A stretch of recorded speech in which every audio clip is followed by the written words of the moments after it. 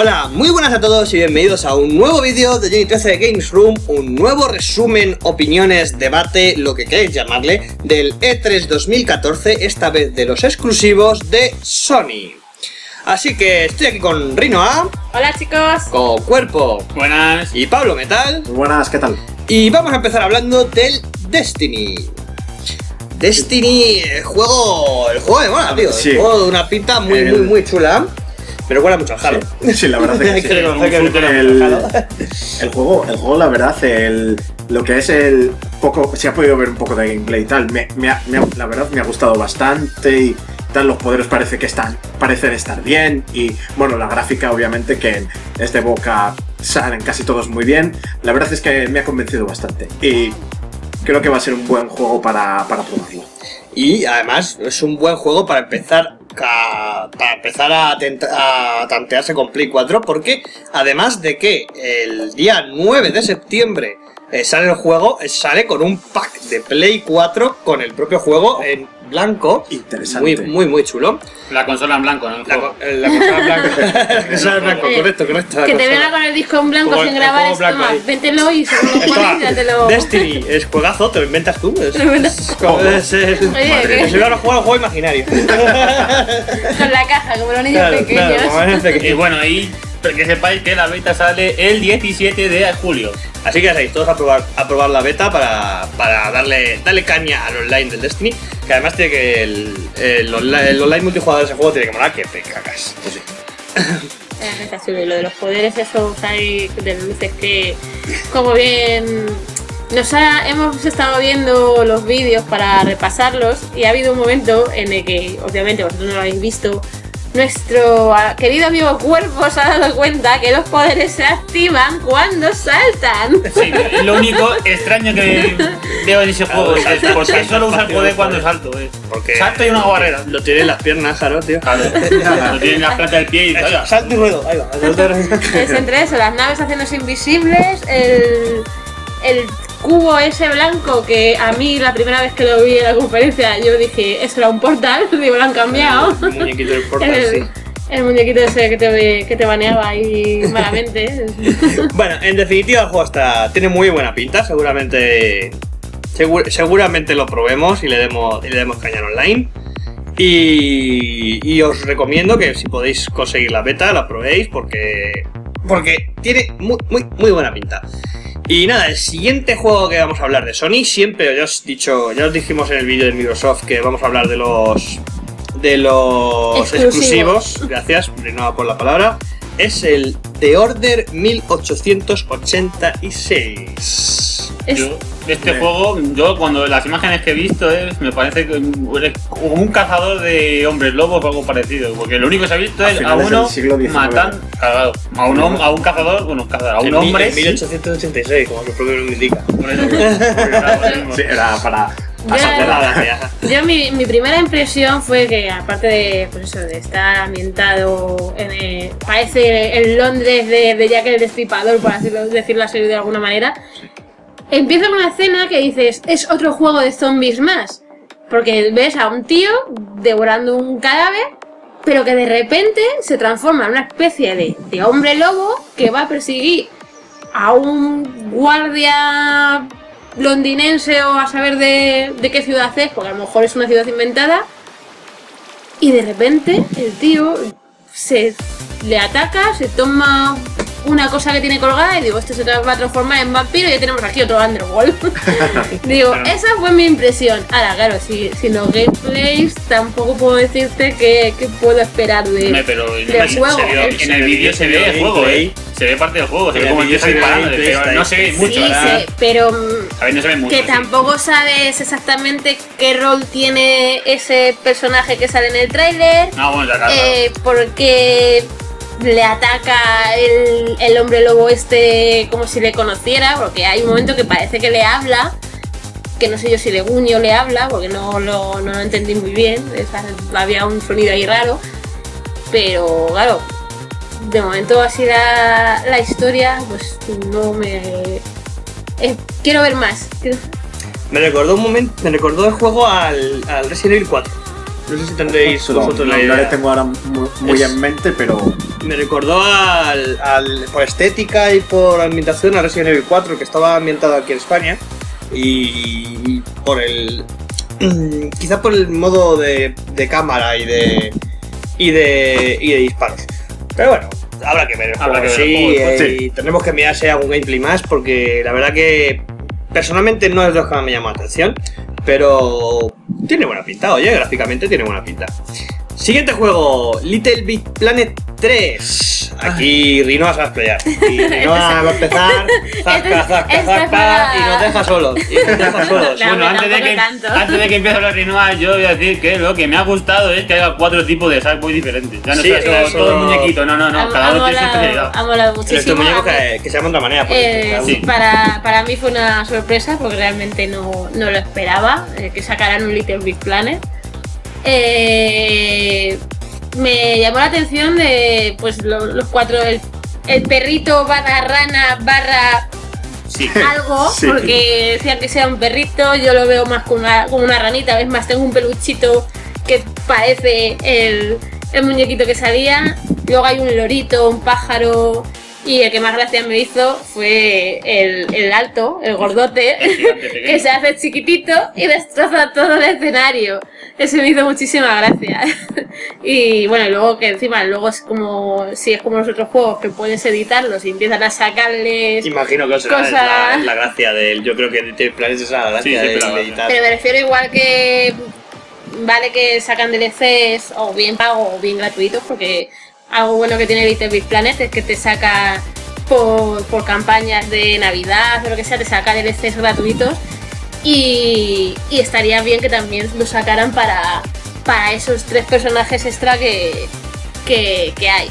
Y luego, además de la sorpresa de que sacaran el Little Big Planet 3, es que nos hayan dicho que van a sacar lo del Little Big Planet 1 y el Little Big Planet 2 con el Little Big Planet 3, con todos los paquetes que han ido sacando eh, para ese juego. Hombre, eso ya, eso ya hicieron en Little Big Planet 2. El, el tema de que todos los dos paquetes de. de Sí, te lo, podía- te lo podías traspasar pero me refiero que ya pasarte lo de dos juegos a este luna de con todo, Bueno. porque había A mí no me sorprendió tanto, pero vamos, que está bien, está bien. Yo la verdad es que, es que me. Me vi muy, muy contenta con ello, que me gusta mucho, me encanta Sackboy. Little Big Planet mola y además ahora por fin tendrá un poco de sentido el.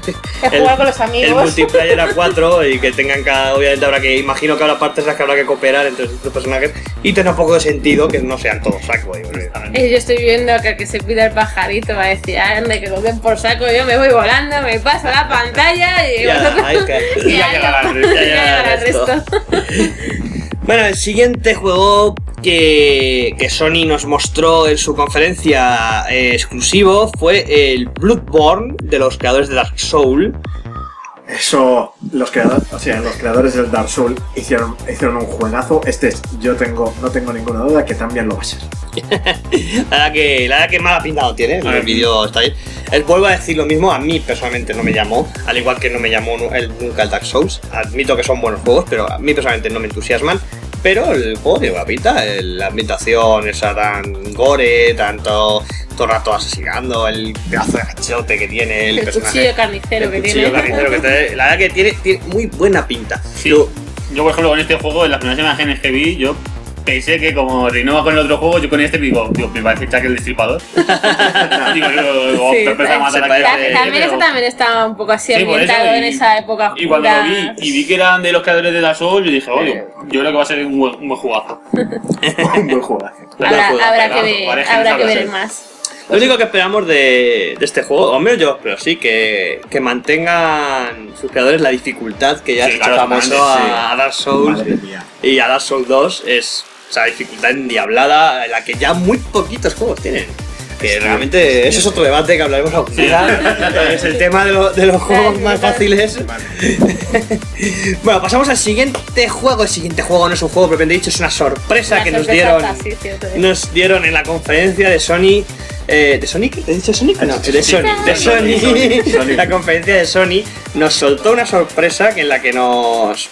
Nos lo disfrazaron de tonterita y con lo de que. Con la eh, carta. Escribimos una carta, pero apareció una foto Tim Schafer dando por confirmando que iba a hacer una reedición para PlayStation 4 de Green Fandango. Bien, aventura.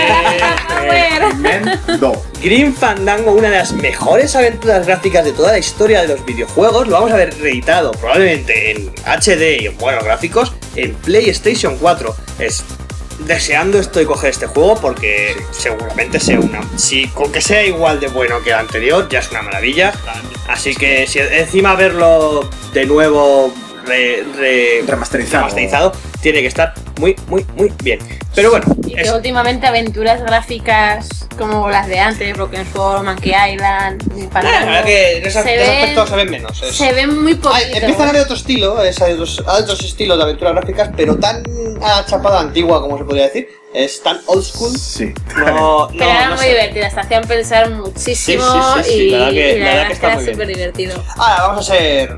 Por una, para una vez vamos a ser imparciales. Es, vale que no solemos ser, pero una vez vamos a ser imparciales. y estamos diciendo que si nos que si nos enseñan solamente un vídeo puede ser bueno o malo. Es de que ni directamente nos no nos enseñan- ni siquiera un vídeo. Puede ser cualquier cosa, ¿vale? Es una de. es una de cómo contentar a los fans, fans, fans. De Pues- como decía aquel fan de póster. Eh, solamente con un título. ya está, Y el- Green Fandango, a tu y el casa. y Ah, todo el- Green Fandango. Todo el teatro hizo ahí, ¡guau! ¿Sabes? Eso verdad que los está- jóvenes no sabrán ni de lo que estamos hablando, los más pequeños, pero. Bueno, esperéis a que salga o no esperéis a que salga, os recomiendo que si tenéis op- oportunidad probéis el antiguo o que cuando salga os probéis el nuevo en caso de que sea tan bueno como el antiguo. Os gustará mucho. Y bueno, realmente no tenemos que explayarnos mucho más en esto, es, personalmente fue la sorpresa que más me gustó, pero realmente no, no es nada, así que no, no podemos no podemos todavía aventurar nada de este juego. Siguiente juego que, que vimos, o siguiente vídeo que vimos, Let It Die, de la compañía Suda51. Es- Esta compañía ha tenido juegos muy, muy, muy buenos y, y en este y en este vídeo Let It Die se- solamente fue una cinemática, no, al menos en la conferencia, no sé si luego hubo gameplay, pero en la conferencia no se vio más que una cinemática. Les parecía que ten- mantenía el mismo estilo de locura que ya hizo con, creo que era No More Heroes, de una de sus sagas. Y, y el trailer era muy metalero, Sí, sí. estaba muy, muy, muy bien. Y, y parecía que el estilo de juego iba a ser muy locura, quizá enfocado en multijugador. No se sabe. Es como solamente sea un vídeo, eso le hemos dicho antes, como solamente es un vídeo, no podemos saber si el juego es bueno o el juego es malo. Y no podemos esperar mucho más porque es lo que hay. No tenemos Que saquen demos, que saquen demos. Es que empiezas a- cuando empiezas a sacar gameplays, quizás podamos. podamos Yo por lo que vi en el vídeo, me parece que va a ser esto una de todos contra todos. Y gore. Y de que sobrevive, exactamente. Eh, Aquí matar, matar y matar. Vale, siguiente juego. En la conferencia de Sony estuvo gran peso el tema de los juegos indie. ¿Vale? Hay muchos juegos indie que son muy buenos. Es muchos. Hay muchos en particular que yo estoy esperando. Como por ejemplo el Mighty Number 9 de, del creador de Mega Man. Yo lo espero con muchas ganas. Y hay muchos juegos muy, muy, muy buenos. Pero hubo uno que bajo. que para todo el mundo, o al menos para la prensa especializada, brilló por. brilló entre los demás. Que fue el No Man's Sky.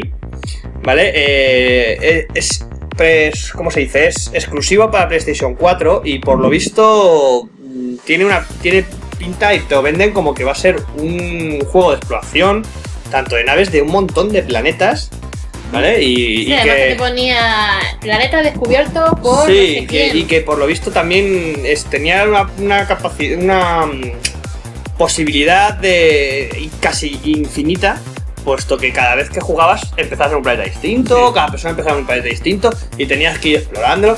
La verdad que se vio, bajo mi punto de vista se vio poco, pero lo que se vio a, a la prensa especializada al menos gustó. A nosotros en particular nos quedó, nos dejó un poco fríos. A mí, a mí es que me, me recordó un poco a, a rollo Star Wars, pero en plan de he gastado menos dinero. También hay que decir Ah, que es un juego indie, Claro, ¿vale? Es, es el equipo, el equipo de que lo hizo es un equipo muy pequeño que incluso llegué a escuchar que eran de cuatro personas, no sé si es verdad o no, ¿vale? Sí, a Pero ver, yo, ta- también en mi Twitter esa noche estaba ahí Sí, quemando con, con L3 y también lo, lo leí y yo lo dije, digo, es, si lo han hecho cuatro personas, felicidades, todo, toda mi, mi ovación, pero el juego en sí para mi gusto, para el tipo de juegos que me suelen gustar, a mí me dejó fría, no me... No fue una de, toma mi dinero, te lo compro ya, necesito algo más, ¿sabes? Eh, supongo que con el tiempo iré viendo más cosas y a lo mejor, pues oye, lo pruebo y me encanta. Hombre, Pero- algo, algo que tienen buenos los indies que normalmente son baratos. Exactamente. Sí. Exactamente, hay que ver cómo luego se, cómo sigue evolucionando ese juego. Claro. porque También es. Claro, claro. Claro. Ya antes solo hemos visto un vídeo y no hemos visto gran Antes. Pero ya os he dicho, es eh, la empresa especializada pone por las nubes, nosotros nos quedamos un poco fríos. Es, os animo a que todos pongáis vuestras opiniones en, en, la- en los comentarios diciendo, pues Johnny, te equivocas, eres un pringao. O, a ver, nosotros estamos hablando en base a lo que nosotros opinamos, vimos, lo que nosotros vimos y lo que nosotros nos opinamos. Y bueno chicos, eh, como siempre hemos dejado lo bueno para el final. Eh, los dos juegos que bajo nuestro punto de vista son de los exclusivos de Sony los que más brillan. Es, uno de ellos es el Metal Gear 5 de Phantom Pain. Es impresionante. un Es- juego es, es- La saga. Metal Gear siempre es sinónimo de siempre es sinónimo de calidad. Es Konami hace un trabajo espectacular con esta saga y más cuando cuando Kojima, Kojima, era- Kojima. Kojima está involucrado, porque es verdad que hay algunos juegos de Metal Gear que no está involucrado él y no han brillado tanto, pero cuando está Kojima involucrado, eso, son juegos espectaculares. E- Éxito asegurado. El vídeo que vimos en la conferencia fue bestial, es- fue brutal, es Un poco triste con eso de las cenizas, esas cosas, pero es la espectacular, fue- se notaba, brutal, se notaba que era de la próxima generación, se notaba ahí un montón de mejoría gráfica en el tema de las caras, en todo, todo, lo vimos todo espectacular. Y no hemos visto ningún vídeo, pero. ¿De gameplay? de- pero por lo visto en el E3 hubo un gameplay de Metal Gear, de Metal Gear 5 bastante amplio y por las nubes. Es lo ponían por las nubes. para que no cogiera el avión porque quería irse. Sí, sí, yo- yo estoy ya deseando probar ese El juego. cuerpo está ya dado el Take My Money, ¿sabes? Está ya ahí deseando jugarle. Es, lo jugaremos, es seguro que lo jugaremos. Ese es uno de estos juegos que venden consolas. Metal Gear 5 de Phantom Pain, ya fue bueno el 4, ya fue bueno el 3, ya fue bueno el 2 y el 1 El- fue una maravilla. Es todos los juegos de Metal Gear han sido este- espectacularmente buenos y no y este seguro que también es, eh, es mm, de lo bueno no- de lo bueno lo mejor, ¿sabes? Y bueno, ya por último, la sorpresa de. Bueno, no sorpresa, la. la eh, el as La en la manga de. El as en la manga de Sony, la guinda del pastel. Uncharted 4. Eh, ¿Qué decir? ¿Qué decir? Espectacular, el vídeo fue brutal. eh, se notaba la mejoría gráfica espectacular. Fue. Fue, genial, es que La- no, la- no tiene palabras. El La juego es bueno. es que, que Sony con lo, con lo que Uncharted, Sí, la verdad que ha- Naughty Dog, Naughty Dog ha hecho algo- unos encontró un filón y, y ha, salido, ha sabido darle brillo perfectamente. Naughty Dog ha hecho, ha hecho un trabajo ex- excesivamente bueno en, en la saga Uncharted y este 4, seguramente este cuarto seguramente sea de, también, de los- si no el mejor, de los mejores. Al menos Uy, pinta tiene muy buena. Fue el último. Y efectivamente, por desgracia, parece que es el último. Es una- Pero bueno, también el, 3, el God of War 3 es el último y mírale. Sí, sí, y sí. mira cómo sacando, así que God of War, God of War. Pero bueno. Así que ya os digo, no sé, Uncharted tenemos muchas ganas, Metal Gear 5 tenemos muchísimas ganas, Destiny también nos llamó mucha la atención y Little Big Planet. Little Big, Little Big Planet Ese 3, era para mi Rinoa, lo, quiere, lo quiere probar, obviamente nosotros también jugaremos con ella. Y cuando salga, pues Green Fandango seguramente también lo probaremos. sí. Los demás habrá que ver cómo evolucionan. Pero esos, al menos ya, son, bajo mi punto de vista, compra asegurada. Si por lo menos nos caen demos, o sea, por lo menos probarlos para decir, oye, pues mira, pues me confundí. Yo dije que esto no molaba, pero es la rehostia el juego. Obviamente todo, todo esto es cuestión de gustos, nosotros tenemos nuestro gusto, vosotros tenéis los vuestros. Es, y os animamos, como hemos dicho, de, a poner vuestro- vuestras opiniones en los comentarios y todo lo que queráis decirnos. Nosotros lo leemos todo. Eh, en definitiva, Sony, ¿cómo vimos su conferencia? A mí personalmente me pareció larga. ¿Vale? A Me mí pareció corta. Muy larga, fueron casi, casi dos tiene horas casi dos horas de, de conferencia.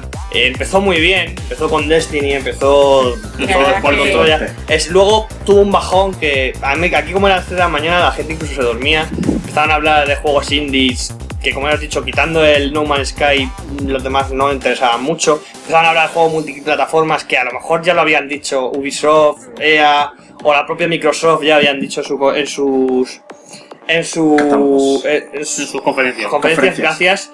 Eh, y luego eh, se tiró media hora diciendo, hablando de números que no nos importa ninguno. Ahí el colega con las gafas, es que no nos importaba estos números, eh, que me da igual. Bueno, y también comentaron de otros juegos que no hemos nombrado. ya, porque o son multiplataforma o Vale, son es- los juegos. Obviamente, como está diciendo Cuerpo, el, haremos otro vídeo de multiplataformas en el que hablaremos de juegos obligados como Assassin's Creed o Batman Arkham Asylum. Arkham Knight. Knight, Knight. Ya te pasaste, Asylum ya me Johnny. pasé. No, yo tengo que decir que estoy. Me encantó, o sea, me gustó mucho la conferencia, pero estoy un poco enfadada con lo que hicieron al final. De, al final de la conferencia de Sony Ah, ya. ya sé hicieron un resumen de, microsegundos de todo lo que van a sacar, entre salió- ellos el salió- Kingdom Hearts que no Kingdom hablaron, malditos. Y no. Es y no y vale, que, nada es, que Square. Enix no ha hecho conferencias, pero por favor, Sony, ¿por qué no has hecho? Pues haberlo sacado, no un microsegundo, más, más. y de todos los que sacasteis, también más, que la gente también está diciendo, dice, no puedes poner microsegundos a, a toda pastilla de los juegos que no has hablado y eso- hablando de números, de ventas y Pero eso ya, eso, eso era para acabar. Y yo- luego en- hubo un montón de notas de prensa en las que hablaban de un montón de juegos. Sí, a ver, sí, pero Ya iremos hablando de eso. Eh, Yo lo que me refiero es eso, en la propia conferencia, porque te deja un regustillo de, ah, eso no lo habla, ah, no, tal. y, y dices, ¿quieres más? Es- Y no hemos hablado nada de ello, pero presentaron el dispositivo PlayStation TV, que personalmente me parece una porquería. Yo es que todavía... No le hemos encontrado la utilidad. No, Es que- no, efectivamente, es una... Sinceramente- es una... Es una Vita en la tele, pero realmente, ¿qué uso tiene? No le Es- veo uso, no le veo uso. En, ningún, en ninguna página realmente te saben explicar qué es. Si es que tú te descargas tus juegos ahí, te los puedes poner en cualquier tele. Si es que tú tienes en tu habitación la consola y con la, la- el cacharro este te puedes poner en el salón sin necesidad de mover la consola. Te- Yo lo hay que te- tantas teorías que realmente no sabes dónde coger. lo que he entendido con el vídeo era eso, que tú tienes la PlayStation 4 en el salón y quieres jugar en la mitad de la tele de habitación, en lugar de llevarte la PlayStation 4, la PlayStation 4 te llevas, Eh, la te llevas la PlayStation. PlayStation TV. Ya, Eh, pero ¿te vale para fuera de tu casa o solamente te vale para la casa? Es que no, es que, es que se tiene que conectar por wifi, es que no, no le veo utilidad Es realmente. que es raro. Pero bueno, es al igual que puede ser que puede ser que triunfe, puede ser que no, no lo sabemos. Y bueno, mm, hasta aquí ha dado de sí el tema de Sony. Como ya sabéis, os- nos hemos centrado en los exclusivos. Ya haremos un vídeo centrándonos en los multiplataforma o en los juegos multiplataforma nos han llamado porque es imposible hablar de todos los juegos que han presentado en Sí. este 3 2014. Porque es que han presentado en las conferencias y luego lo que tenemos que irnos enterando por reportajes de la gente que ha estado allí. Que obviamente sabemos que es una exposición, tienes tus demos, tienes tus sectores de cada compañía con sus juegos y eso no lo vemos físicamente aquí. Pero bueno, es lo que no, nosotros lo que vamos a hacer es esto, es opinar sobre, sobre los juegos que hemos ido viendo y sobre las conferencias que hemos ido viendo y, e intentar daros nuestra opinión. Sinceramente es daros nuestra opinión. Podemos opinar que un juego es bueno, podemos opinar que otro juego es malo, pero es la opinión que damos. Así que nosotros de momento nos vamos a despedir y aún nos quedan un par de, un par de compañías que no hemos hablado aún de Nintendo y tenemos que hablar de los multiplataforma. Así que nosotros de aquí nos despedimos. Hasta la próxima. Hasta luego. Hasta luego.